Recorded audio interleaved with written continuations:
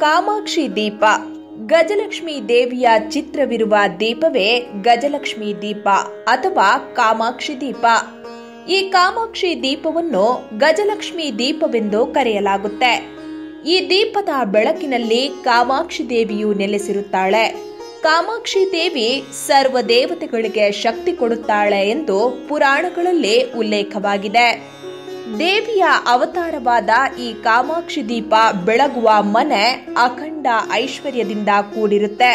ಹೀಗಾಗಿ ನಮ್ಮ ಹಿಂದೂ ಸಂಪ್ರದಾಯದಲ್ಲಿ ಚಿನ್ನದ ಆಭರಣಗಳನ್ನು ವಂಶಪಾರಂಪರೆಯಾಗಿ ಹೇಗೆ ಮುಂದಿನ ಪೀಳಿಗೆಗೆ ನೀಡುತ್ತಾರೋ ಹಾಗೆಯೇ ಇದನ್ನು ಕೂಡ ಒಂದು ಪೀಳಿಗೆಯಿಂದ ಇನ್ನೊಂದು ಪೀಳಿಗೆಗೆ ಬಳುವಳಿಯಾಗಿ ನೀಡುತ್ತಾರೆ. ಮನೆಯಲ್ಲಿ ವ್ರತ, ಗೃಹ ಪ್ರವೇಶ, ಪೂಜೆಯನ್ನು ಮಾಡುವಾಗ ಕಾಮಾಕ್ಷಿ ದೀಪವನ್ನು ಹೆಚ್ಚಾಗಿ ಬಳಸುತ್ತಾರೆ. ಹೀಗೆ ಪುರಾಣಗಳಲ್ಲಿ, ವ್ರತಗಳಲ್ಲಿ ಮತ್ತು ಶುಭ ಕಾರ್ಯಗಳಲ್ಲಿ ಕಾಮಾಕ್ಷಿ ದೀಪಗಳನ್ನು ದೀಪಾರಾಧನೆಗೆ ಬಳಸಿದ್ರೆ ಒಳ್ಳೆಯದು. ದೀಪಾರಾಧನೆ ಮಾಡುವಾಗ ದೀಪಕ್ಕೆ ಕುಂಕುಮ ಇಟ್ಟು ಹೂವನ್ನು ಅರ್ಪಿಸಿ, ದೀಪವನ್ನು ಬೆಳಗಿಸಿ ನಂತರ ಮೊದಲು ದೀಪಕ್ಕೆ ಪೂಜೆ ಮಾಡಬೇಕು. ನಂತರ ದೇವರ ಪೂಜೆ ಮಾಡುವುದು ಸಂಪ್ರದಾಯ.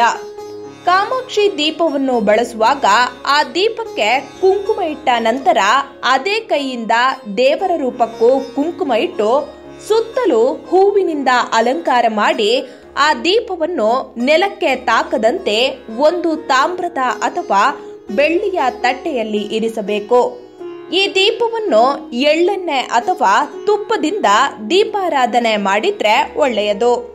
ಕಾಮಾಕ್ಷಿ ದೀಪದ ಬತ್ತಿ ಹೇಗೆ ನಿಧಾನವಾಗಿ ಸುಡುತ್ತದೆಯೋ ಹಾಗೆಯೇ ನಮ್ಮ ಮನೆಯಲ್ಲಿರುವ ನಕಾರಾತ್ಮಕ ಶಕ್ತಿ ನಮ್ಮಿಂದ ದೂರವಾಗುತ್ತೆ.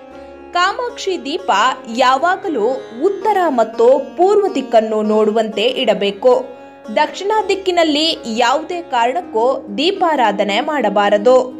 ಈ ದೀಪವನ್ನು ಮಂಗಳವಾರ ಮತ್ತು ಶುಕ್ರವಾರ ದಿನಗಳಲ್ಲಿ ತೊಳೆಯಬಾರದು. ಪ್ರತಿದಿನ ಬೆಳಕಿನ ಜಾವ ಮತ್ತು ಸಾಯಂಕಾಲದ ಸಮಯದಲ್ಲಿ ಕಾಮಾಕ್ಷಿಯ ದೀಪದಿಂದ ದೀಪಾರಾಧನೆ ಮಾಡಿದ್ರೆ ತುಂಬಾ ಒಳ್ಳೆಯದು. ಕಾಮಾಕ್ಷಿ ದೀಪದ ಮೇಲ್ಭಾಗದಲ್ಲಿ ಗಜಲಕ್ಷ್ಮಿ ಎರಡು ಆನೆಗಳ ಜೊತೆ ಇರುವಂತೆ ಚಿತ್ರ ಇರುತ್ತೆ. ಎರಡು ಆನೆಗಳು ಮಹಾಲಕ್ಷ್ಮಿಯ ಪಕ್ಕದಲ್ಲಿ ಇದ್ದು ಸೊಂಡಿಲಿನಿಂದ ನೀರನ್ನು ಮಹಾಲಕ್ಷ್ಮಿಯ ಮೇಲೆ ಪ್ರೋಕ್ಷಣೆ ಮಾಡುತ್ತಿವೆ. ಈ ರೀತಿಯ ದೀಪ ನಿಮ್ಮ ಮನೆಯಲ್ಲಿ ಇದ್ದಲ್ಲಿ ನಿಮ್ಮ ಮನೆ ಅಖಂಡ ಐಶ್ವರ್ಯದಿಂದ ಕೂಡಿರುತ್ತೆ.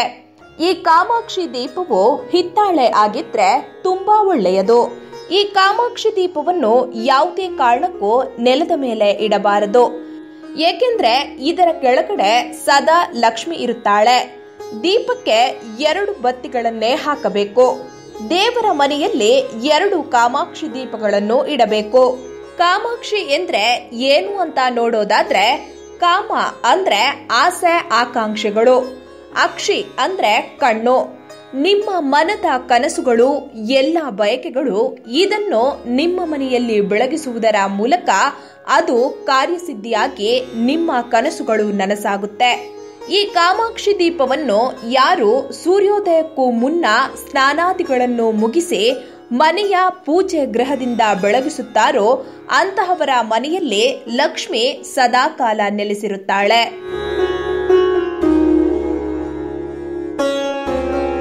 ಈ ವಿಡಿಯೋ ನಿಮಗೆ ಇಷ್ಟವಾದ್ರೆ ಲೈಕ್ ಮಾಡಿ, ನಮ್ಮ ಅನಗವಾಣಿಯನ್ನ ಸಬ್ಸ್ಕ್ರೈಬ್ ಮಾಡಿ, ಪಕ್ಕದಲ್ಲಿರುವ ಬೆಲ್ ಬಟನ್ ಒತ್ತಿ.